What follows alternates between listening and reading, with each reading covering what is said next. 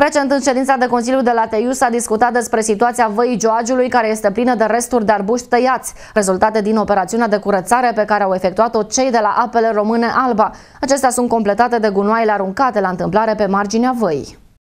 Primarul orașului, Mirel Hălălai, a declarat că a discutat cu cei de la apele române și a cerut ca situația să fie rezolvată cât mai repede posibil. În urma discuției, primarul a spus că în maxim două săptămâni, adică cel târziu pe 15 decembrie, valea va fi curățată. Care au fost aruncate tot de către cei care stau undeva în zonă sau care cu, mă rog, acolo pe margine, au ieșit la ideea. Ori aia va trebui să o curățăm, deci aia cât de curând.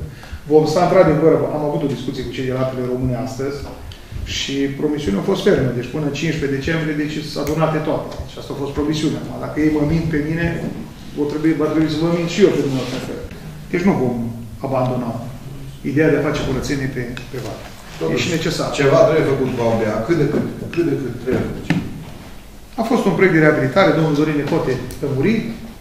Au făcut ce au făcut, apele române, ei sunt asta unii.